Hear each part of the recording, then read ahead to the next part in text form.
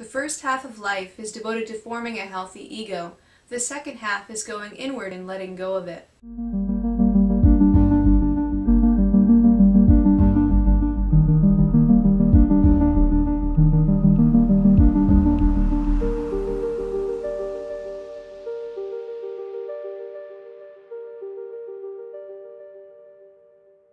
Hi, this is Emerald and welcome to the Diamond Net and today I want to talk to you about the ego. Now, when I say ego, most people relate the ego to people who think too much of themselves or are very conceited, but everyone has an ego. In fact, the ego is the central complex of the mind. The ego is the place that most of us inhabit in our field of consciousness. It's where we make decisions and our self-concept is formed. It's the person we call I, and it gives us the impression that we are separate beings from all other beings and forces in our environment. It's where we get ideas of the self and other. So it's me in here and them out here. Um, it's our sense of separateness and it's a great tool for our survival and competition but many problems come up from the ego. In fact, most of the problems that we face in the world come directly from the ego consciousness paradigm. Now, because the ego's primary concern is to create a particular sense of self, it has many protection mechanisms in place to protect the ego from things that might harm or dismantle it. Thus, it uses selective focus and edits our experiences to protect itself from harm. So it ignores and represses different experiences, personality traits, and aspects of reality that stand in opposition to the self-concept that it has created. Let's say, for example, that in my ego self-concept, I think of myself as an open-minded person, and I think of that as my primary strength. What I'm going to do is I'm first going to think of that as being the most valuable trait in everyone and start judging other people based on my standards of open-mindedness. I will also create blind spots to times where I'm not open-minded and kind of like whitewash over that so I don't have to deal with the discomfort of having to cast a negative judgment on myself for not being open-minded. Now, someone else could think that open-minded people are irresponsible and too permissive, and so their ego is going to do the same process, only they're going to be thinking of open-mindedness as a vice instead of a virtue. Now the ego is also very sneaky. We can want very positive, noble things for egoic reasons. For example, we can want to be desireless. We can be proud of being humble, and we can internally boast to ourselves of our lack of pride. These mindsets are very subtle signs of the ego at work. The ego cares about how it is seen by itself and by others, and it creates arbitrary standards and then lies to itself about how closely it fits those standards. The ego is either self-congratulatory or self-deprecating depending on how closely we fit with the standards that it has set. And so, we paint ourselves into a little box and shut our eyes to the full depth and breadth of our own existence. So the more heavy and rigid a person's ego becomes, the more and more traits and aspects of reality get relegated to the unconscious where they become part of the shadow. When this repression happens, our field of consciousness gets smaller and smaller and we begin to lose touch with ourselves and with our wisdom. And from this come many negative mindsets like greed, hatred, and ignorance. When a person experiences traumas, the ego doubles down and begins to repress all of the traits and aspects of reality that relate back to what caused the trauma. Now, this creates complexes which are interrelated groups of repressed traits. Now this is done with positive intention from the ego because it seeks to uh, protect the individual from harmful influences so it doesn't experience the trauma again. However, these repression protection mechanisms that the ego creates often work at cross purposes to one another and create a lot of mental distress, abnormal behaviors, and just a restriction of consciousness in general. A person can also add activities, beliefs, and preferences to their ego identity to where if these things get criticized in any way, it can feel like a slight to the person. This is because the ego has begun to attach itself and identify with those things. So as a person's standards get more refined, the ego gets a lot more constricting. Now, everyone except for a minuscule percentage of people on the planet who are enlightened are coming from an egoic perspective, and so repression is just a natural part of that mechanism. So some might have more repressions than others, but no one can escape it altogether if the ego is at the center of the mind. Now, our best bet from an egoic perspective to reintegrate our repressed traits is to do a process like shadow work, where we're going in one by one and reintegrating traits back into our conscious mind. However, to get rid of repression altogether, we have to escape from the trap of ego completely. But how do we get rid of the ego? Well, the answer is that we don't. We don't want to get rid of the ego because it's part of the human psyche. It's a natural part of it. So if we try to get rid of the ego, it just becomes another repression. And in fact, it becomes the biggest kind of repression because we're repressing our entire self-concept. So repressing the ego is like taking 10 steps in the wrong direction. When a person does this, life becomes like a game of chess with no king. Life loses all meaning and the personality begins to degrade and crumble while the ego functions from the shadow. It's at that point that the entire personality becomes a complex, and we could even be outright clinically insane if we do this. So you can't just decide to become egoless and achieve it like you would almost all other goals. You can't will yourself to enlightenment. You know, this is just like if you were to go up to a flower outside and start tugging on it to get it to grow faster, it just isn't going to work. And in fact, the flower is just going to get uprooted. Instead of trying to get rid of our ego, we should seek to soften the ego and displace it from the center of our consciousness. And I'll go ahead and I'll call this radical decentering.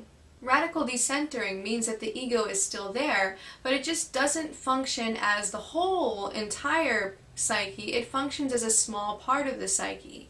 And that way we can observe it with pure awareness, and at that point we can become detached and liberated from the stories that it confabulates about us. Until our consciousness is expanded far enough to transcend the ego, we must be mindful and radically self-honest. We must be able to admit to where we are and how we feel. We must become sensitive to the workings of the mind and body to stretch our consciousness further.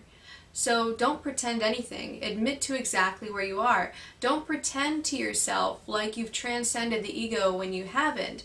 If you feel competitive, be competitive. Admit it to yourself. If you feel like you want to be better than other people, admit that to yourself. There's no use in trying to be a morally perfect person. And, you know, you really have to be willing to be imperfect to do this work and to really make progress in expanding your mind enough to transcend the ego. So you have to be able to look at your flaws without judgment. Otherwise, these things be just become more repressions because they get swept under the rug.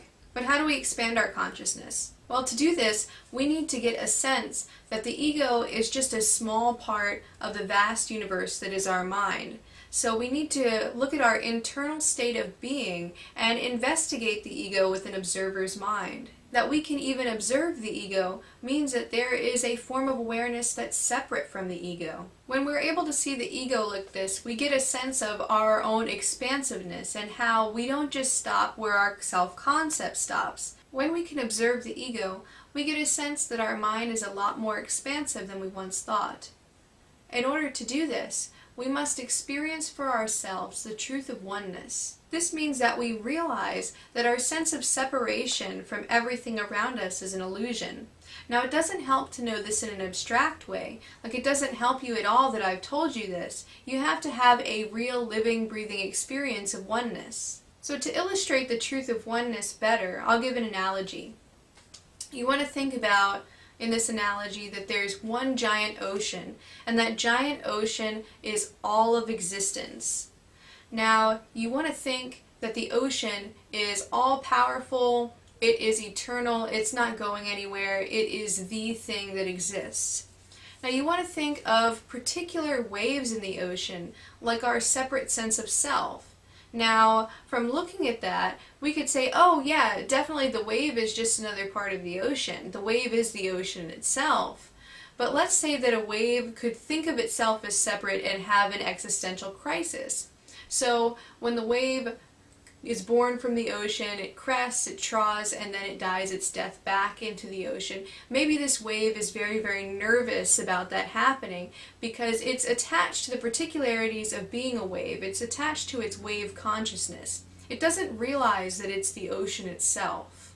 Now, if the wave were to realize that it was the ocean, it would have nothing to fear because it would realize that it could never be destroyed, but that it was a very important part of that ocean no matter what. We are also like waves in the ocean. We also have our birth, growth, decay, and our death. And because separation is an illusion for us too, we are also all of existence. When we shift and expand our mental paradigm from egocentric consciousness to pure awareness, we begin to realize that we are just an extension of everything else. All illusions of separateness fall away, and the natural byproduct of this is peace, harmony, and good intention toward all beings. We feel a sense of unconditional love to all things in existence because we are whole again. Now, I personally am far from being enlightened, but when I was 20, I had an episode of radical decentering, and it was the most beautiful experience that I ever had. It was like all boundaries between myself and the outside world completely melted away, and I felt like I was just a small but very significant part of everything that was. And like it was just a state of pure unconditional love. Like I completely accepted everything exactly as it was.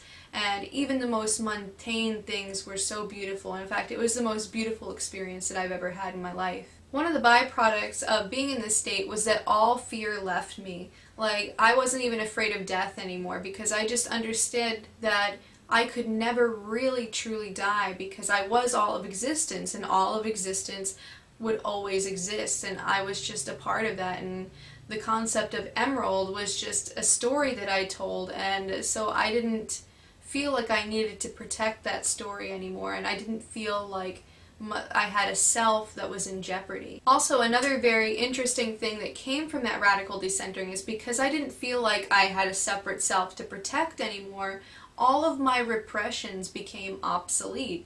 And so I just didn't need to repress things anymore. And so all of the traits that I had been keeping in my shadow for so long that I wasn't aware of just completely rose up to the surface. And I was able to completely see them as they were. And I was also able to realize exactly the stories that I told myself to repress them and the stories that I had to continue telling myself in order to continue to repress them.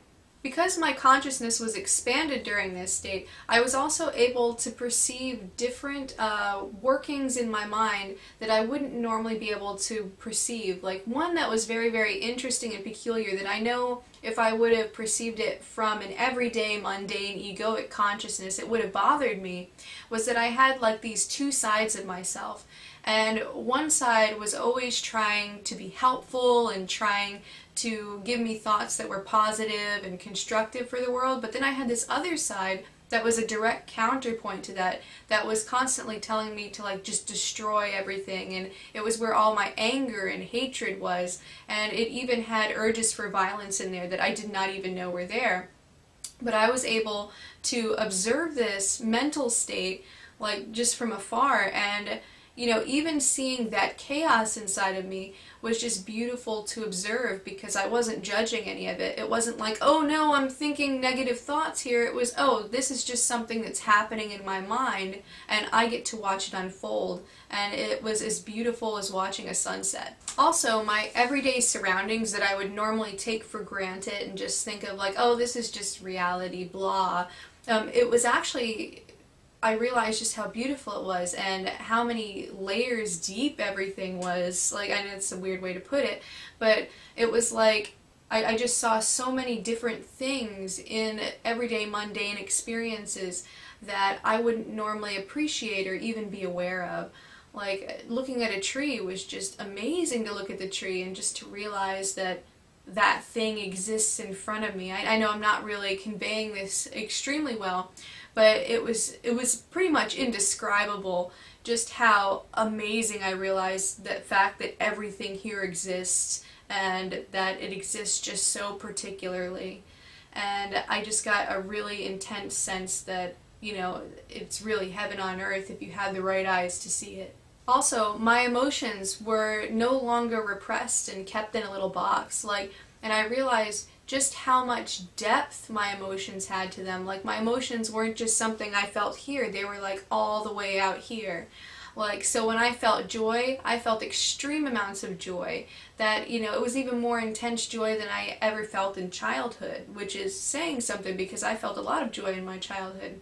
Also, occasionally a little bit of sadness or anger would pop up here and there, but it was like I ceased to even see those things as negative. They were just mechanisms at work inside of me. It wasn't like, oh no, I'm getting angry, that makes me a bad person, and therefore I shouldn't be feeling this way. It was also a beautiful emotion, and I just realized it as part of me. So I was able to kind of relate uh, my negative personality traits and my negative emotions in a way that they were kind of like lava. Like if you're far enough away to observe them, they're just a beautiful natural occurrence. However, you don't want to step in lava. When you get attached to lava and you actually touch it, that's when it turns into a problem. But that it exists is just a fact of nature. Now, I would love to go into how to get to this state, but unfortunately, because this video is all about the ego, I want to save this for a topic for a later video. So that's all I have for now. I hope that you enjoyed this video. If you did, go ahead, give it a big thumbs up, and click the subscribe button below. Also, check back every Wednesday and Saturday for new videos from the Diamond Net. And until next time, keep becoming more you.